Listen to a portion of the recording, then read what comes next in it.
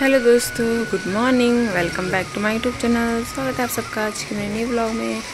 तो आज के ब्लॉग की शुरुआत हो रही है मेरी मॉर्निंग से छः बजे से। और आज यहाँ पूरी रात भर बारिश हो रही है, रात भर बारिश। ये देख सकते हो, पूरी रोड में भी पानी हो गया पूरा। आज तो रात भर बारिश है, अभी छः बजे तक देख सकते हो आप, बारिश बंद नहीं हुई है। बारिश की बूंदे बंद चल रही है।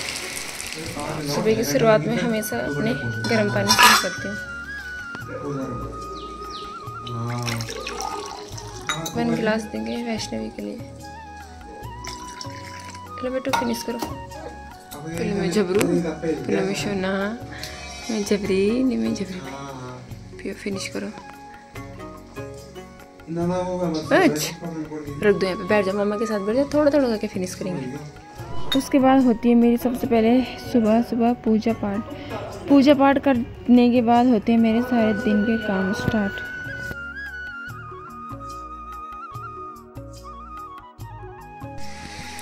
सबसे पहले खोलूँगी मैं पूजा करने के बाद अपना व्रत। तो मेरा कल एकादशी का व्रत था तो एकादशी का व्रत में हमेशा चावल खा के ही खोलती हूँ, क्योंकि कल के दिन में चावल का ही त्याग होता है, उस दिन चावल नहीं खाते। तो सबसे पहले मैं चावल खा के अपना व्रत खोलती हूँ। सात, साढ़े सात से ऊपर हो चुका है टाइम और आज बारिश रुकने का बिल्कुल मूड नहीं है। यानी आज वैष्णवी की छुट्टी करनी पड़ती है कि नहीं? अगर ऐसी रही बारिश तो आज वैष्णवी की स्कूल की हो जाएगी छुट्टी। अब चलती हूँ मैं किचन में और बनाती हूँ फटाफट नाश्ता पानी। तो किचन में घुसते ही मैंने बनाया वैष्णवी के लिए लगड़ी उसको मीठा बहुत पसंद है तो इसलिए मैंने सोचा उसको टिप्पन में लगड़ी ही दे दूँ। मुझे लगड़ी बनाना बहुत टफ लगता है, बहुत, मुझे बिल्कुल पसंद नहीं है बनाना। बट ये वैष्णवी को पसंद था तो इसलिए मुझे बनाना पड़ा। तो फाइनली लगड़ी बन के हो चुकी है रेडी अब वैष्णवी का मैं कर लेती हूँ टिप्पन रेडी और वैष्णवी को भी रेडी बारिश रुकने का नाम नहीं ले रही है, बिल्कुल भी। ये देखिए बारिश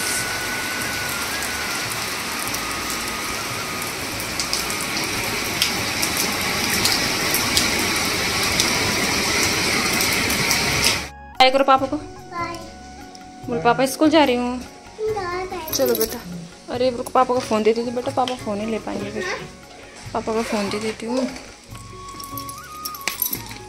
अब चलते हैं स्कूल छोड़ने वैष्णवी को। बारिश अभी हल्की कम हुई है वैसे हो ही रही है हल्की हल्की। स्कूल भी जाना ही है। इसको आराम से चलो हाँ?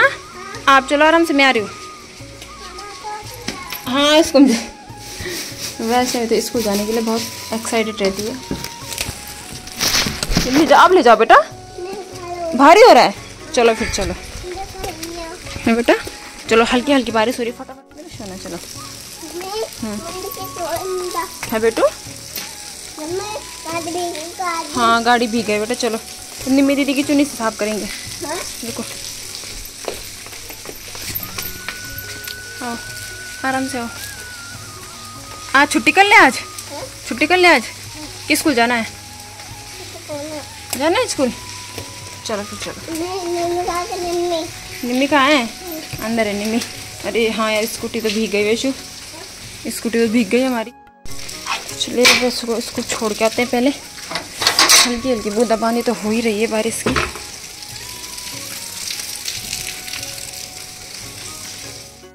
उतरो आप स्कूटी से उतरो चलो स्कूल आ गया आपका लो मेरा फ़ोन पकड़ना जरा।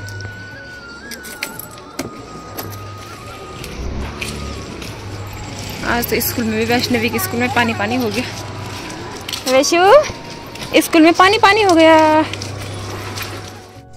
वैष्णवी को स्कूल छोड़ने के बाद सीधा गई मैं अपनी स्कूटी का टायर चेंज कर, करवाने के लिए, क्योंकि मेरी स्कूटी का टायर चेंज करवाने लायक हो गया था। आगे का टायर पूरा वो ख़राब हो गया था। तो स्कूटी का टायर चेंज कराने गई और तो यहाँ पर मुझे थोड़ा काफ़ी देर बैठना पड़ा, इंतज़ार करना पड़ा, क्योंकि वो भैया टायर चेंज करने में थोड़ा टाइम लग गया था। तो थोड़ा आगे लेके गए स्कूटी को और मौसम थोड़ा अभी ठीक है, पता नहीं किस टाइम ऊपर से बारिश बरस जाए।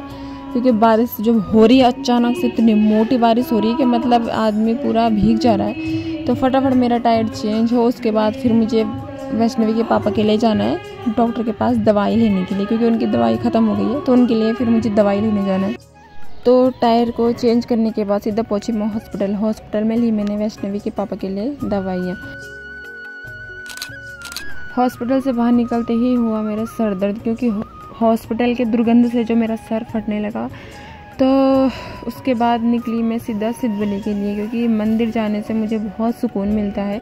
मुझे ऐसा लगता है कि मेरी सारी बीमारियों की दवा मेरे लिए मंदिर ही है।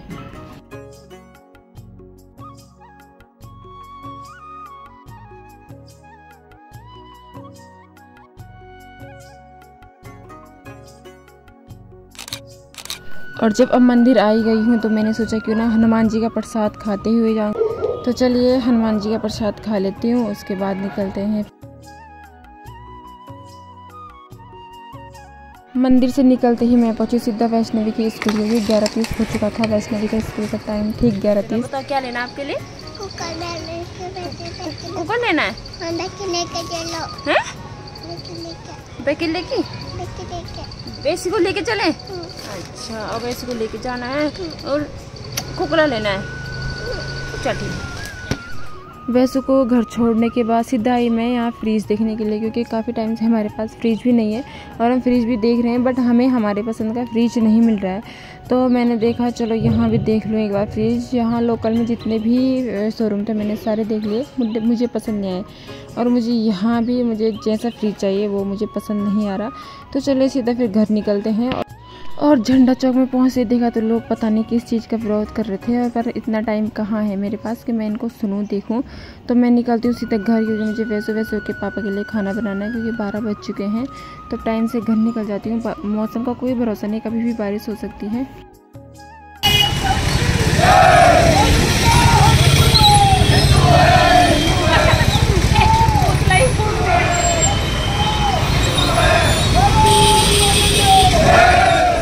फाइनली पहुँच गई मैं घर में और घर में पहुँचते हुई बारिश स्टार्ट वैष्णवी को छोड़ के गई थी मैं वैसू के पापा के साथ। वैसू पानी ला बेटा एक गिलास। पानी लाओ मामा के लिए।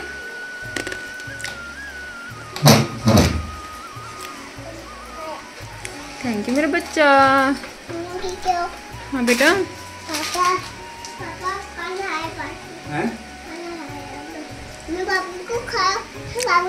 पापा के लिए था? अच्छा बच्चा, मुझे नहीं दो। जाओ, पापा के लिए और ले आ जाओ।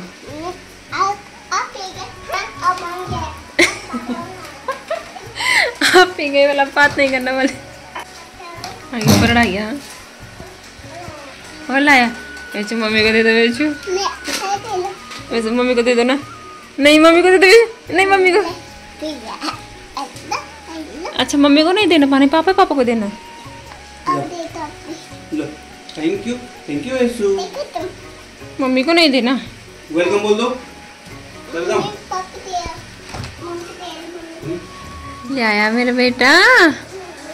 आया मेरे सोना ला बेचा थैंक थैंक यू सोना मेरे मेरे बच्चे पा कर दे मम्मा को। अब चलती हूँ मैं अपने किचन में। किचन में मेरे भी बहुत काम पड़ा हुआ है। बर्तन भी सुबह से वैसे ही पड़े हैं। खाना बनाने का टाइम भी हो गया। क्योंकि वैसे को स्कूल छोड़ने जाओ फिर घर मार्केट के जितने काम होते हैं सारे निपटा के घर आना पड़ता है। क्योंकि घर आओ फिर दोबारा जाओ फिर दिक्कत होती है। इसलिए मैंने सारे काम निपटाए। तो मौसम भी हल्की हल्की फिर बारिश स्टार्ट होने लगी है। तो फाइनली खाना बन के हुआ रेडी मुझे पापा को परेशान मत करो बेचा नहीं ऐसे बोला बात मत करना अब बात मत करना मुझसे। अब मुझसे बात मत करना।